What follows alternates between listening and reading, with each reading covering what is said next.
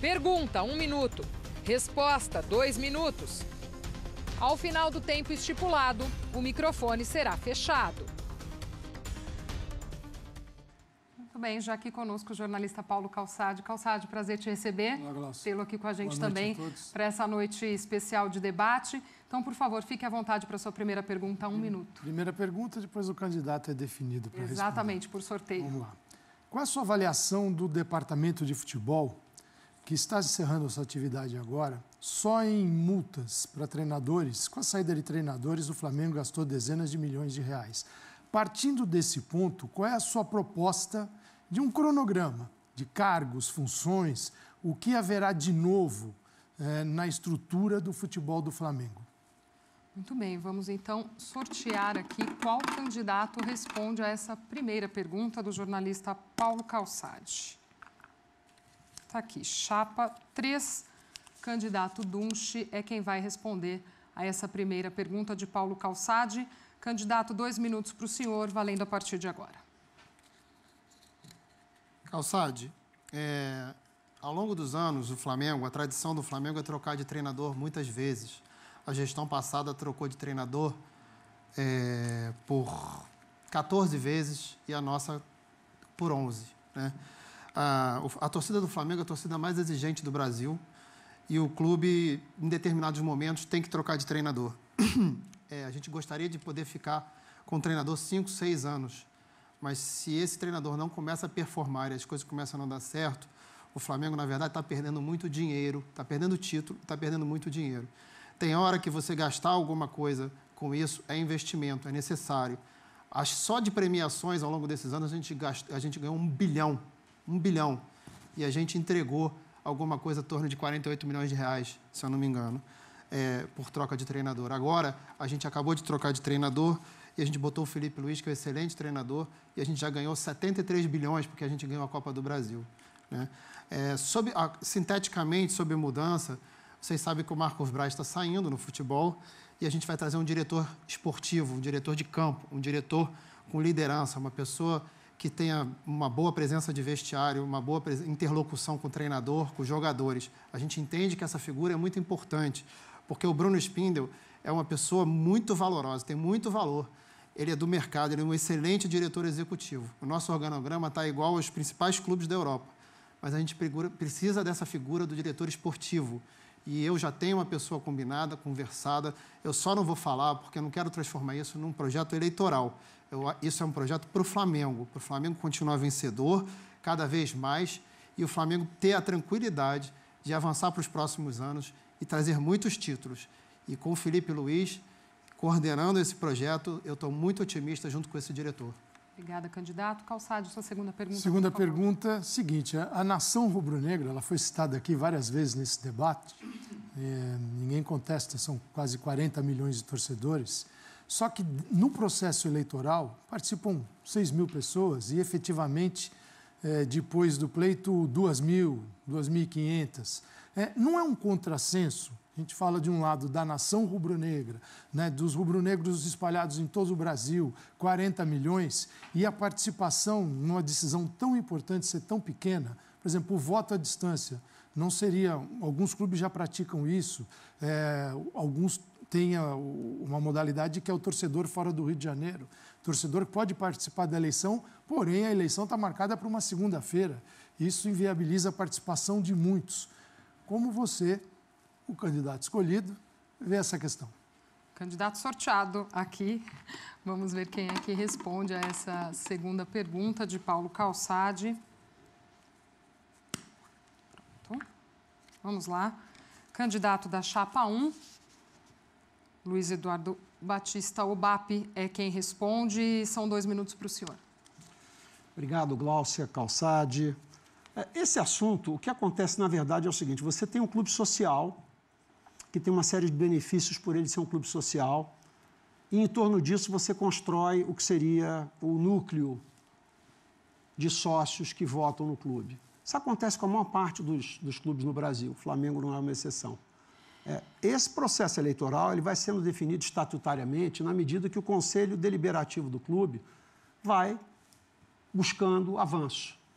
O Estatuto do Flamengo é um estatuto antigo, é um estatuto que tem 32 anos, se não me engano. É, vem de uma época que não tinha internet, não tinha absolutamente nada. E já se tem algum tempo a intenção de que você permita o voto à distância, que você permita o acesso à distância de algumas pessoas nas sessões. Durante a pandemia, a gente viu isso acontecer. Então, a tecnologia hoje permite que esse tipo de, de coisa aconteça. É. No Flamengo, isso não aconteceu de maneira mais profunda, porque este conselho diretor do clube não quis. Trabalharam contra um dia sim, o outro também, sobre essas evoluções. De longa data, qualquer mudança estatutária, qualquer evolução foi sistematicamente barrada, engavetada e trabalhada contrariamente. Então, a tecnologia permite, quem é sócio e mora fora devia poder votar, e sobre a escolha do dia segunda-feira, é, a escolha se deu, pelo que eu ouvi dizer, pela comissão eleitoral, de que historicamente a presença calçade, ainda que pareça é, um contrassenso, ela é maior na segunda-feira do que no fim de semana. Por quê? Porque a maior parte dos sócios do clube estão nas proximidades do clube. Então, é uma questão muito mais física de realidade do clube do que uma proibição a quem está morando distante. Calçade, sua terceira, terceira e última pergunta. pergunta e última. Qual a sua avaliação sobre a conduta do departamento de futebol no caso Gabigol? Gabigol é um patrimônio do Flamengo, mas é um patrimônio que está saindo do Flamengo e provavelmente vai reforçar um grande rival no futebol brasileiro. Qual a sua avaliação sobre todo esse caso Gabigol? O candidato que ainda não respondeu nenhuma pergunta de Paulo Calçade Maurício. é Maurício de Matos, mas para o pessoal ver aqui a última bolinha que nós temos, para testar também que tínhamos os três candidatos aí uh, à disposição. Temos aqui, opa, chapa 2, portanto, com o candidato Maurício, que responde agora essa pergunta do Paulo Calçade, dois minutos para o senhor. Primeiro, ninguém está, ninguém está acima do Flamengo. O Flamengo é a nossa razão de vida. Dirigente, jogador, tem que respeitar normas e condutas. Mas como respeitar se não tem um profissionalismo no futebol do Flamengo? E o candidato Rodrigo Duz fala que a gestão não deve ser 100% profissional, como já declarou. Então já mostra aí um amadorismo na essência. E várias condições aconteceram palavras dadas, palavras não cumpridas, para que chegássemos a um desfecho tão ruim que a diretoria e o jogador não conseguiram se entender. O Gabigol é um ídolo, mas, como eu falei, nada e ninguém pode estar acima do Flamengo. E contrato e, e palavra é para ser respeitado.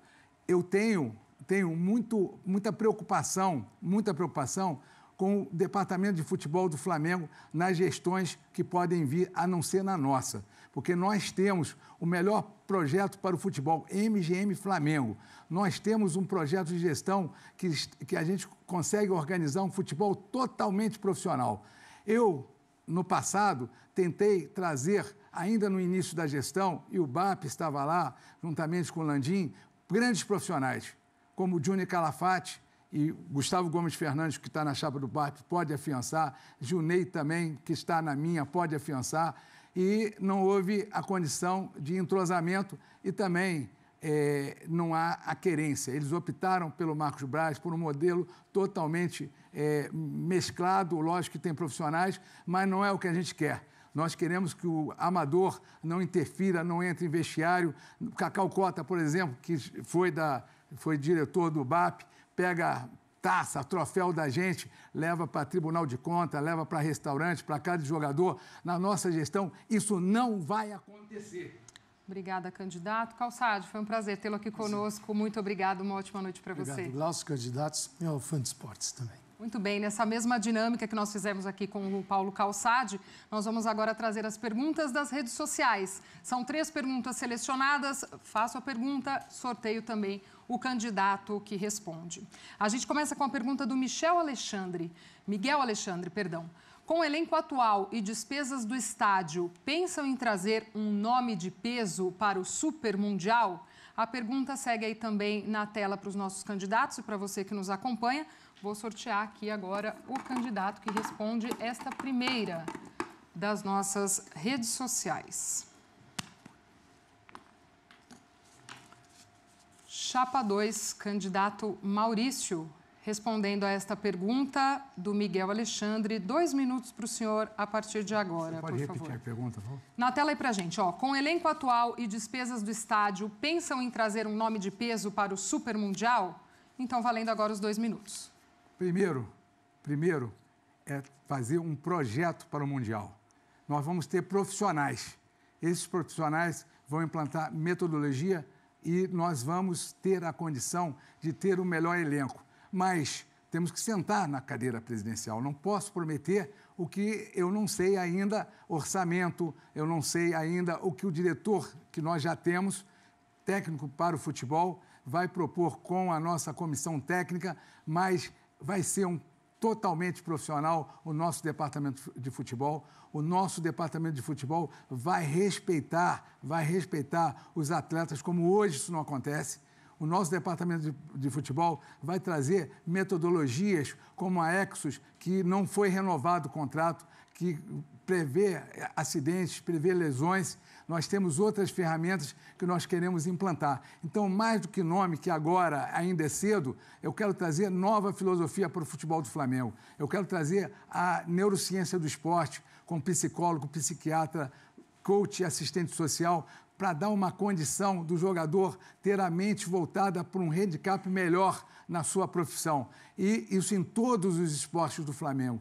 Nós vamos trazer ferramentas, nós vamos trazer os melhores scouts, a, a parte médica totalmente modernizada, para que a gente não caia no que a gente vê hoje. Problemas físicos, problemas médicos, problemas no futebol, problema de rendimento, atletas que têm que contratar psicólogos. E eu quero, eu quero dar a melhor formação para a base do Flamengo, implantando também esses sistemas. Eu quero investir na base, porque hoje tem decréscimo ano a ano. Nós vamos investir craque, o Flamengo vai fazer em casa e vamos também trazer grandes jogadores, mas preservando os, a, a, a condição de craque Flamengo tem que fazer em casa e voltar a fazê-los. Muito obrigada, candidato. Vamos agora com a segunda pergunta, que foi selecionada nas nossas redes sociais. É o John John quem pergunta. Quais os planos para o torcedor de fora do Rio de Janeiro? Fica aí na tela também para você que nos acompanha a pergunta e a gente sorteia qual candidato responde a este nosso telespectador. É o candidato da chapa 3, Rodrigo Dunche. Então, reforçando a pergunta, quais os planos para o torcedor de fora do Rio? O senhor tem dois minutos, Dunche. Bom, é, essa é uma pergunta importante porque a maioria dos nossos torcedores está fora do Rio de Janeiro. E é, o Flamengo é um clube nacional. E a gente tem total foco nisso, né? A gente, ano passado, começou a fazer o Campeonato Carioca, alguns jogos fora do Rio de Janeiro. E foi sensacional. A gente foi para Manaus, a gente foi para Belém, se eu não me engano, Rio Grande do Norte. Então, assim, foi muito bom a experiência de estar com esses torcedores. A gente vai continuar visitando novas cidades no Campeonato Carioca, incentivando. É, é fundamental que o Flamengo faça alguns jogos do Campeonato Estadual sem prejudicar o nosso programa de sócio-torcedor, porque o sócio-torcedor ele compra os jogos que nós somos mandantes. Então, se a gente sai, a gente prejudica aqueles jogos que foram comprados. É, e o, e o sócio-torcedor perde aquele jogo. Então, a gente tem que estar sempre vendo como a gente pode compensar nosso sócio-torcedor mas atender o nosso sócio off-Rio, nosso sócio que é de fora do Rio de Janeiro. Agora mesmo nós temos o plano de ir para Fortaleza e fazer uma festa bacana lá com o torcedor local do, do Ceará. É muito importante, o Flamengo está viajando, o Flamengo está com o seu torcedor próximo dele, fazendo festas, fazendo eventos, fazendo jogos. E a gente, na minha gestão, eu estou ampliando o programa de consulados embaixados, que é um programa que exatamente traz um pertencimento para esse sócio que está fora do Rio de Janeiro, eu estou montando diretorias regionais que vão. Porque o, o vice-presidente fica aqui no Rio de Janeiro. Ele fica muito distante. Então, eu estou fazendo diretorias regionais por região, colocando um diretor regional em cada região do Brasil para estar tá mais próximo ainda dos torcedores. Então, assim, o nosso compromisso é ampliar cada vez mais o programa de consulados e embaixadas com esses diretores e cada vez mais estar tá viajando no Campeonato Carioca para estar próximo desse torcedor. É, Muito obrigada, obrigado. candidato. Vamos agora à nossa terceira e última pergunta, selecionada das nossas redes sociais. Quem pergunta é o Matheus Souza.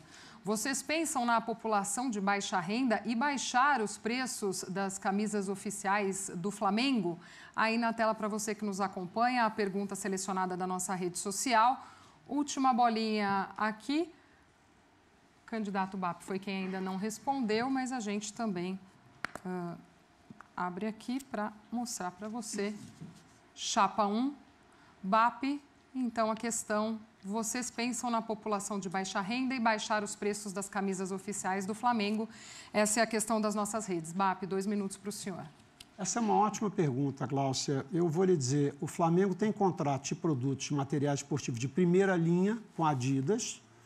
E o Flamengo tem a possibilidade de fazer produtos de segunda linha, eventualmente com a própria Adidas ou com outros fabricantes. O Flamengo tem um contrato com a Brasiline que ele poderia desenvolver produtos nesse sentido. Esta é uma decisão política que pode, deve ser implementada na medida em que o clube tenha vontade de fazer novos negócios. No nosso plano de governo, nós vamos buscar novos negócios, levar adiante o produto de segunda linha. Nós temos planos nesse sentido, sim.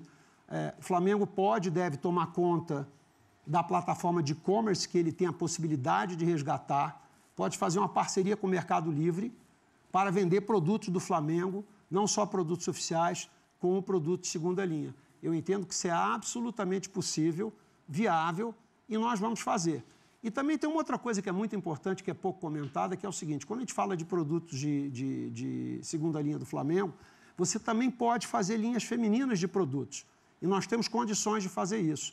Então, evidentemente que dentro do processo, do projeto de você buscar mais receitas para o Flamengo, para que a gente não dependa apenas tão somente de é, operações isoladas que possam contribuir para a construção do nosso estádio, nós vamos ter que trabalhar na perenização de novas receitas e novos produtos e novos negócios. Então, nós pretendemos desenvolver essa área com toda certeza, para além das camisas. Eu acho que a camisa é só um início, mas eu entendo que isso tem uma oportunidade enorme para o Flamengo explorar para outras linhas de produtos, conforme a gente sugere no nosso plano de governo. A pergunta é ótima, está registrada e a gente tem ideia para isso. Qualquer coisa você vai lá no arroba BAP Flamengo ou no bapflamengo.com.br que tem detalhado as nossas ações.